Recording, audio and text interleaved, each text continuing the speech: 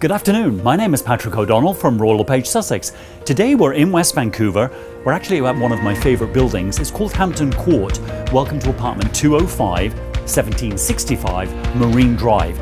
Now, don't let the Marine Drive address fool you with regards to noise levels. Here we sit on the back patio, nothing but the birds chirping. You almost have as much outdoor space as you do indoor space in this beautiful two bed, two bath apartment tons of renovations, well worth a look. When you're ready, don't hesitate to give me a call. Thanks very much and have a great day.